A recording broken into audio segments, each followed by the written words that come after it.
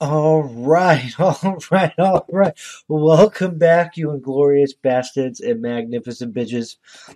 Uh, let me adjust my seat. It is I, Doc Comeau, and we're back for my thought of the day.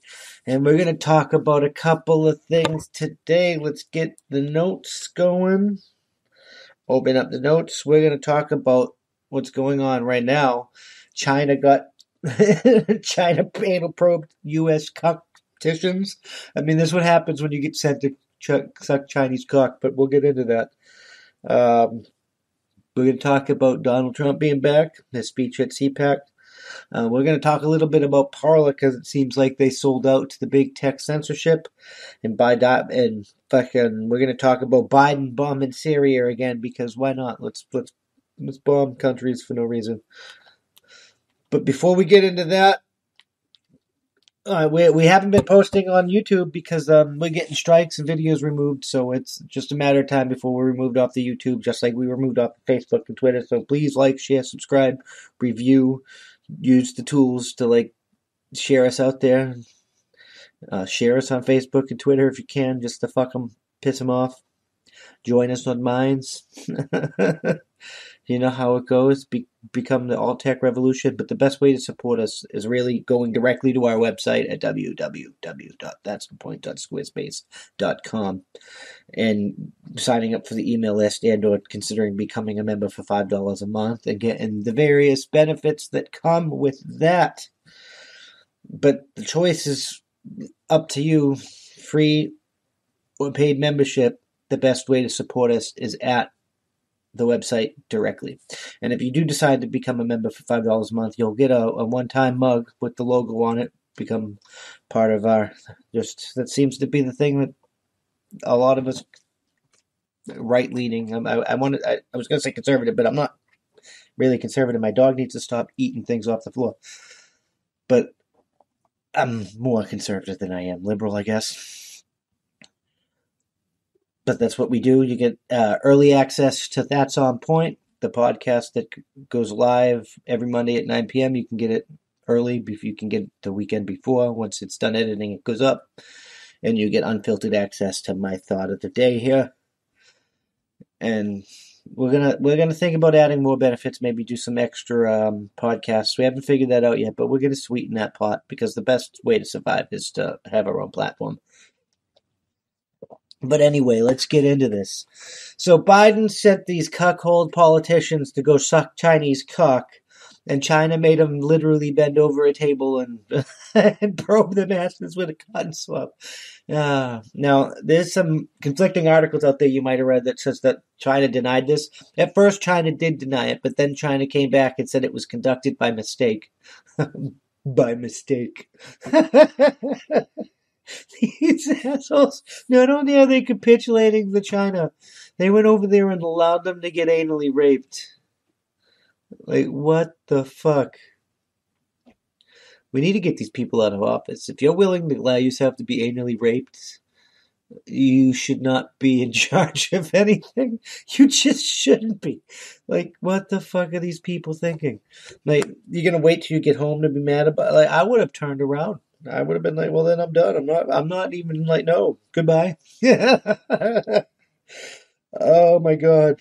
Let's see what the BBC has to say. Well, yeah, BBC is saying China's denying it, right? But this was as of four days ago.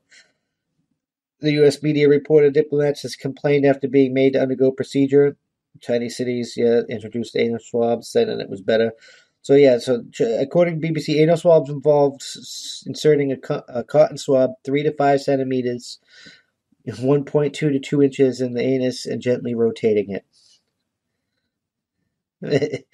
it is not known how many U.S. men may have had the test. like, may have had the test.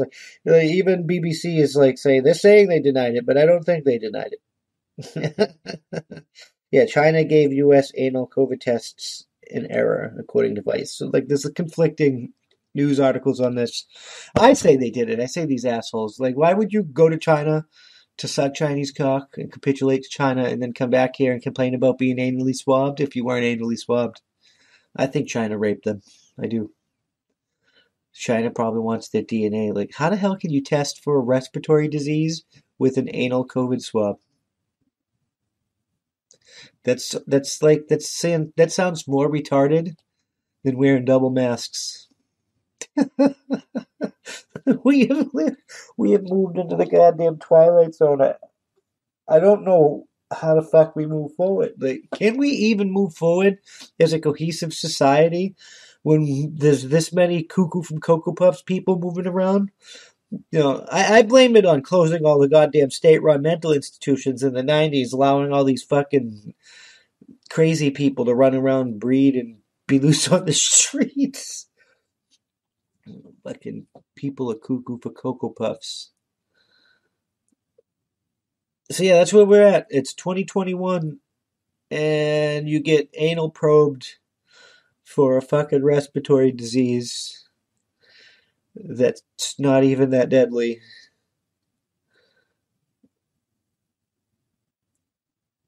I don't even understand anymore. Like, how did people become this dumb? I don't know. Let me know. What What do you think? Would you allow yourself to get anally probed for dipl- diplomacy? Oh, or will you will you be on my like me and my camp and get back on that plane and back? Like, oh, I'm not. I'm done with this fucking meeting. I'm done with this meeting. Right the fuck now.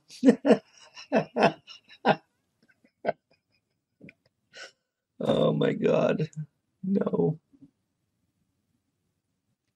No, just I just the world is insane. What I think they're doing it for other reasons. I think they get DNA. It's a good place to get DNA because they they don't they want to like get Americans' DNA to rule the biotech fucking industry. They've said so. So I think this is just an excuse to get American DNA. I can't believe those assholes allowed it to happen and then complained about it. If you were going to complain about it, how about just not doing it? Turn around and going home. Putting your motherfucking foot down. but no, you bent over and allowed them to give it to you. They gave it to you. they gave it to you Rob. I wonder if it's more comfortable than giving that shit shoved up your nose. Uh, either way, I think it's all ridiculous. But anyways, that's all we have for China today, and we're gonna move on to the next topic. China is fucking going crazy, anal probing people re- for ridiculous reasons, and uh, they can fuck off with that. I'm just saying. All right, all right, all right. So we were on Parler. You may have remembered a while back, and Parler got canceled, and then Parler came back, and we've talked about it a little bit. But it doesn't seem like Parler actually came back, actually, at all. Um, I mean, it's there, but it's not Parler anymore. They fired the old CEO and the, the the service provider they took a contract with to like host their new shit after Amazon canceled them has even stricter like speech regulations and stuff in, in the terms of service than Amazon did. So they effectively they they've effectively bent the knee to this big tech censorship garbage. It's only like yeah, no, they, they they have to abide by the terms of service to keep, keep their hosting services and the terms of service for the new company has even stricter shit than the old one. So um, they've pretty much sold out. And they replaced the new CEO and whatnot. I mean, I, I, I don't know why they fired the CEO. Um, we can look that up real quick. But like, Parler's thing out, selling out, it, it's trending on Gab right now, and um, it's on talking about um, and Minds. It's it's going over the feeds, which is why we're talking about it now. But uh, this is from Fox Business, so you can take it with a grain of salt because you know it's, it's hard to trust media sometimes. But we had to get a better source than some of these. Right, some of these independent sources are real nut jobs as well. So, Parler CEO John Matze says he's been terminated by board. I did not participate in this decision. Parler is terminated, according to me, Matze and staffers that has obtained Fox News. Yeah, so they basically fired him and then signed on with an, uh, uh, a far left service provider. And they're gonna be they're gonna have to follow the rules and censor speech. Like uh, they joined big tech, They literally joined big tech. They're gonna start censoring people and stuff too. Like you got, you really got to go over to Minds if you're not on Minds already, because the this uh, well we can build our other alternatives, which is why we're building our own website. Because I, I this, this is the stuff's got to keep getting worse until people put their foot down. They, everybody talks about fifth generational warfare and stuff, but like I, yeah, it's not good for other countries to come in and invade us. They have to use fifth generational warfare because there's too many guns and stuff. But in order for us to unfuck our own mess, one one side is going to have to punch the other side in the throat.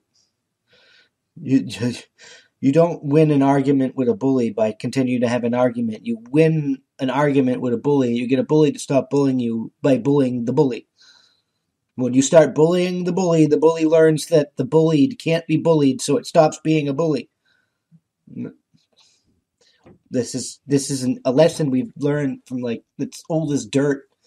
Back, I can't believe we're still having this argument about like anti-bullying made people soft. You shouldn't be anti-bullying.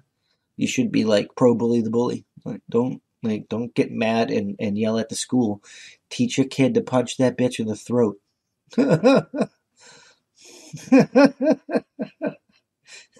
take your kid could take their suspension like command, and friend. That's how friendships are formed. oh my god! How did we become so soft? How did we get here? Like where the, the free speech havens are gonna like not become free speech like just for money to, to continue to stay in business. I would have stuck to my principles even if it meant my business went under. I'm sorry, but I I would not have signed any contract with any service provider that has these ridiculous speech laws.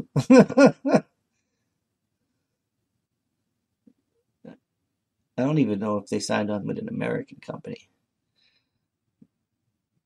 but it doesn't matter. Like even if that wasn't their intention, those terms of service are going to be applied, and they're going to have to capitulate, or we're going to be round two. Round two, fight. uh, and this time there's no excuse because they accepted the new contract under the new terms of service. But I think they fired the CEO and stuff because they, they wanted to take it over by far lefties. Uh, I know the conservative circles are saying that the woman that took over or whatever, Rebecca, what's her name? Like, go back to that Fox News article. Uh, Rebecca Mercer is a far lefty. That's what they're saying. I don't know, but I mean that is the common tactic of these far left guys. They they infiltrate these companies and they they get to the top and then they start fucking them in the ass, making them communist trash. So like Parler's like it failed. It it sold out. It is no longer the bastion of free speech that it said it was going to be when it said it was coming back and it was going to keep going. Conservatives need to leave that platform. We got to come over to Minds. Mines is the place. There's lefties, there's righties, there's in the Middle middleies, but nobody's really getting an argument. I mean, sometimes the lefties try, but everyone you laughs at them and, and shoves them back into the corner where they belong.